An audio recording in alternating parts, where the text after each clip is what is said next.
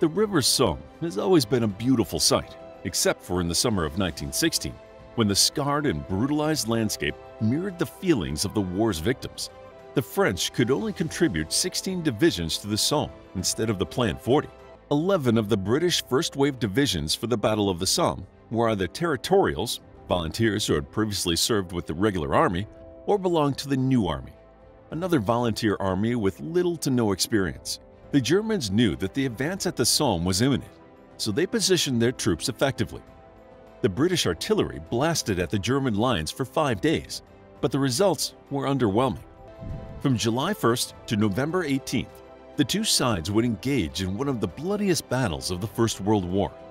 It was 141 days of relentless back and forth across the 40-kilometer stretch on both sides of the upper reaches of the River Somme. Over a million men would die or be wounded by its end.